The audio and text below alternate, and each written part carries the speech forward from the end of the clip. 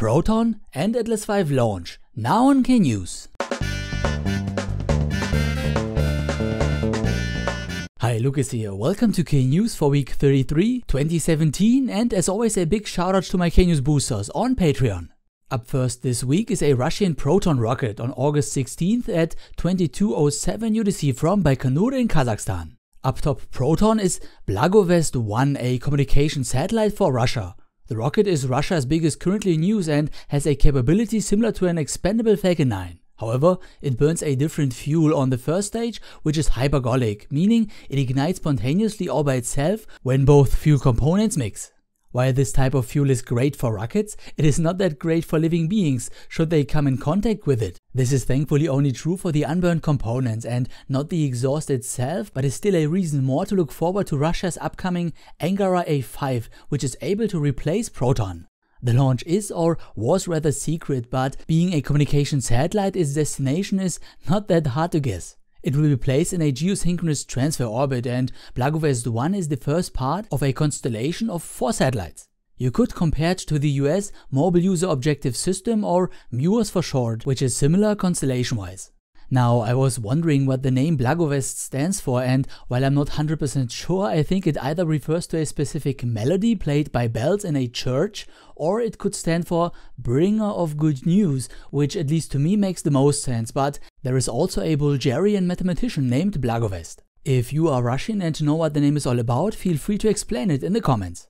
Back at Proton, what looks like boosters on the first stage are actually oxidizer tanks filled with nitrogen tetroxide. So the whole bottom section comes off all at once and not in pieces. It is one stage powered by 6 engines and the rocket has two more of these and the BreezeM upper stage which will give the satellite its final push into its desired orbit.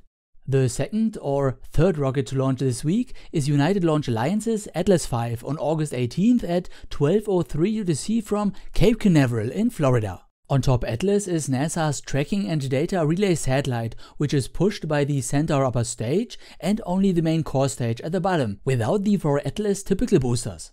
In this configuration it is also quite similar to a Falcon 9, since it burns kerosene and oxygen on its first stage, but Centaur allows it to push more payload into a fast geosynchronous transfer orbit, since it uses cryogenic hydrogen instead of kerosene. The lighter the exhaust atoms or molecules are, the faster they get accelerated out of the nozzle.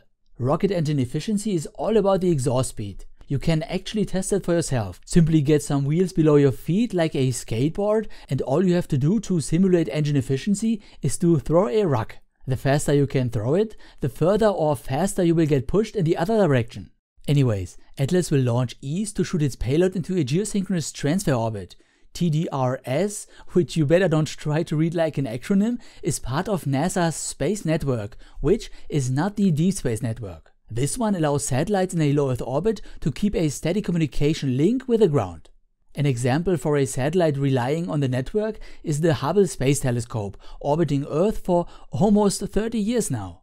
Its data is relayed through TDRS to a ground station so scientists can basically have a live view from Hubble. These ground stations are positioned in various locations like New Mexico or also the tiny island Guam a few hundred kilometers south of Japan in the Pacific Ocean. Guam was in the news a lot recently, so I thought you might wonder where exactly it is and if there is something of space interest on it. Yep, the Guam Remote Ground Terminal, used by NASA's space network. It was built in the 1990s and I hope it will continue to operate for many decades to come. Once the upper stages of both rockets burn out of fuel, they will release their satellite, which will then continue on their own and join the fleet of hundreds of satellites at the geosynchronous altitude.